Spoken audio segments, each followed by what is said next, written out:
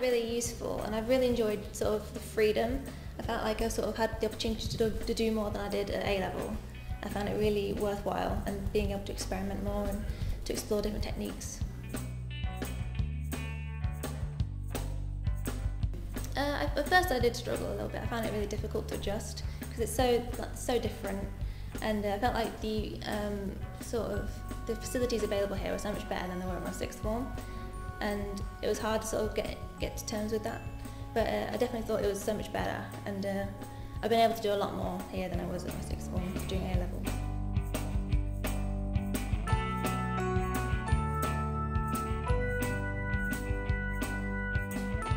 Well, with the project that I did with this, I had to do a lot of like figure studies and all that, and so I took one of my friends into the studio and did a lot of photography of her and how she was moving and being able to use that side of that just as a study like I helped see how the body worked that was really useful but then I also did a lot of colour changing with a lot of photographs of like cityscapes so I kind of changed a lot of really dull cityscapes into these kind of colours and I think being able to use Photoshop and do all that really actually helped develop the colour palettes that I used for this project. It's just been so free. There's in in that I there's been structure. So we they turn around and say tomorrow you're going to do a workshop on this, but then this workshop could be altered to whatever you need to do next. Whatever you're planning on doing, you can tailor that workshop to what you need to do.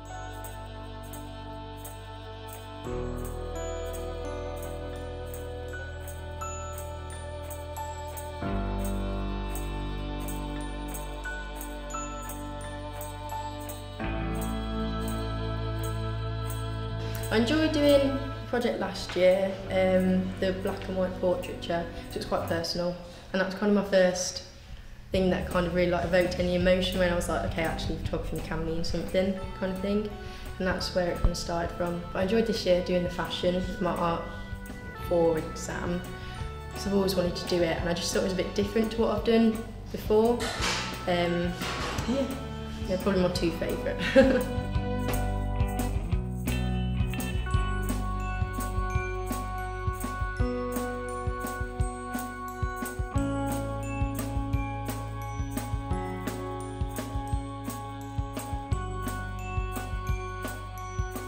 should definitely come here. It's by far the best thing you'll ever do in this sort of education.